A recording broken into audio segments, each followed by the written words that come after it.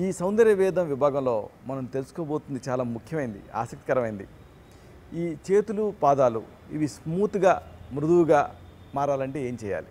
ఎలాంటి జాగ్రత్తలు తీసుకోవాలి? ఇది తెలుసుకున్నాం ఎందుకంటే చాలామందికి ఇదే సమస్య. కొంతమంది పేషెంట్ చూపిస్తూ ఉంటారు.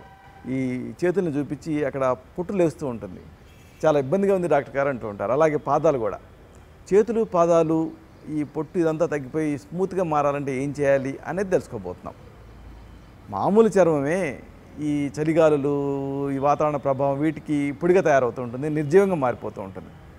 కాబట్టి ఈ సీజన్లో ఈ కాళ్ళు చేతులు మరింత వీటి మీద ఉండే చర్మం మరింత గరుగ్గా తయారవుతుంది. చర్మం పై పొరలో ఉండేటువంటి తేమ శాతం తగ్గిపోతుంది. దీంతో ఈ చర్మం అంతా కూడా పొడిపారుతూ ఉంటుంది. అందుకే చలికాలం ఎక్కువ మందికి కాళ్ళు చేతులు పగులుతూ ఉంటాయి. కాబట్టి వీటి సంరక్షణకి ప్రత్యేకమైన జాగ్రత్తలు తీసుకోవాలి. అప్పుడే స్మూత్గా ఉండేటువంటి స్కిన్ మీ సొంతం అవుతుంది. అంటే పాదాల పైన అలాగే చేతులపైన ఉండే చర్మం స్మూత్గా తయారవుతుంది. దీనికోసం ఏం చేయాలి అనేది తెలుసుకుందాం. ఫస్ట్ మీకు చెప్పాల్సింది సంరక్షణ గురించి. సంక్షిప్త క్రియాయుగో నిదానస్యచ వర్జన ఉంటుంది ఆయుర్వేదం కాబట్టి కారణాలు కనుక్కొని సరిదిద్దుకోవాలి. ముఖ్యంగా ప్రొటెక్ట్ చేసుకోవాలి. ఎలా చేసుకుంటారు కాళ్ళు చేతుల్ని? ముందు ఒక టబ్లో గోరువెచ్చటి నీళ్ళు తీసుకోండి. ఇప్పుడు దీనికి అంటే ఇలాగా ఒక టబ్లో తీసుకొని ఆ గోరువెచ్చటి నీళ్ళల్లో కాళ్ళు చేతుల్ని ఒక పది నిమిషాల పాటు నానబెట్టండి. అయింది కదా? కావాలనుకుంటే ఈ నీళ్ళకి మీకు నచ్చినటువంటి ఏదన్నా రోజ్ ఎసెన్షియల్ ఆయిల్ ఇలాంటివి కలుపుకోవచ్చు. ఎసెన్షియల్ ఆయిల్ ఏదైనా కలుపుకోవచ్చు. పది నిమిషాల పాటు నానబెట్టండి. పది నిమిషాల తర్వాత కాళ్ళు చేతుల్ని బయటికి తీయండి. తీసి ఒక కాటన్ గుడ్డతోటి బ్లాట్ చేయండి. పొడిగా తుడుచుకోండి. ఇప్పుడు ఏం చేస్తారంటే ఒక గిన్నెలో కొద్దిగా నిమ్మరసం తీసుకొని ఆ నిమ్మరసానికి కాస్త చక్కెర కలపండి. ఇప్పుడు ఈ కాళ్ళు చేతులు ఇక్కడ గరుగ్గా తయారైనటువంటి ఇక్కడ గరుగ్గా ఉందనుకోండి ఇక్కడ ఇలాంటి చర్మానికి ఈ మిశ్రమాన్ని రాయండి. మృదువుగా మర్దన చేసుకోండి.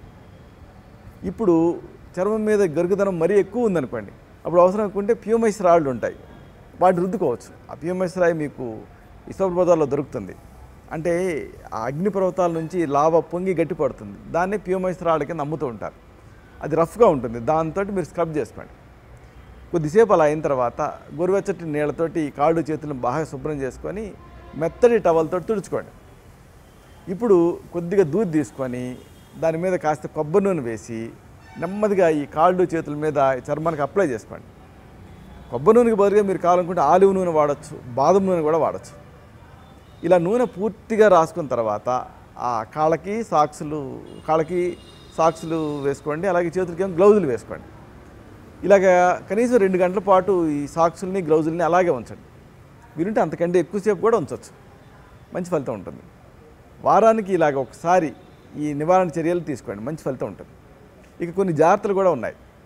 ఉదాహరణకు ఆలివ్ నూనె చక్కెర.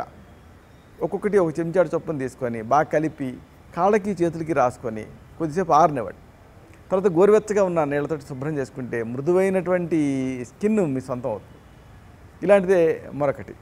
కొద్దిగా ఆలివ్ నూనె తీసుకొని వేడి చేయండి. దాంతో రోజు చర్మానికి మృదువుగా మర్దన చేసుకున్నా కానీ మంచి ఫలితం ఉంటుంది. అలాగే మరొక మంచి చికిత్సా పద్ధతి ఉంది. దోసకాయ రసం తీయండి. ఈ దోసకాయ రసానికి కొద్దిగా గ్లిజరిన్ కలపండి. కలిపి చేతులకి రాసుకోండి. లేకపోతే మరొక పద్ధతి ఉంది. టమాటా రసం గ్లిజరిన్ నిమ్మరసం అన్నీ సమపాళల్లో తీసుకోండి.